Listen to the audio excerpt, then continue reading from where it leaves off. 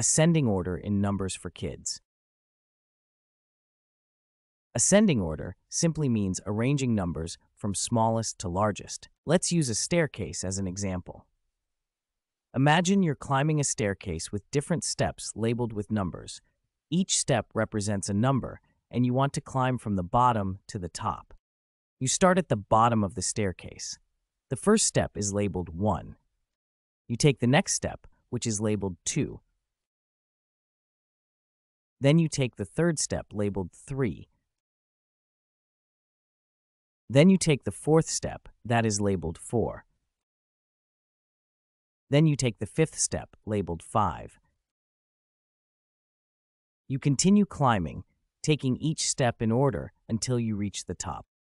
So climbing a staircase in ascending order means going from the lowest step to the highest step, as in 1, 2, 3, 4, 5, 6, and so on. Let's look at other example.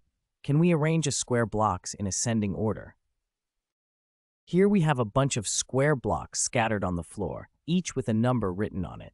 Can we put them in ascending order? Just like arranging them from smallest to largest. Let's look for the block with the smallest number written on it. And we have the smallest number as 1 here. That's our first block. Let's find the next smallest number. What is the next smallest number after 1? And here we have 2.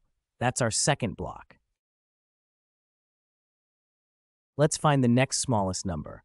What is the next smallest number after 2? And here we have 3. That's our third block. What is the next smallest number after 3? And here we have 4. That's our fourth block.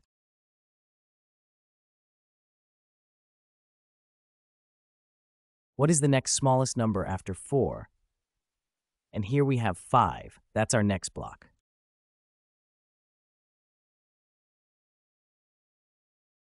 What is the next one after 5 here? the final one to pick, and that's the block 6.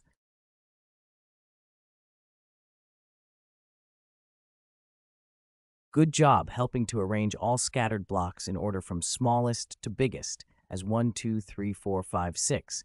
And now we know what does ascending order mean in numbers. Happy learning!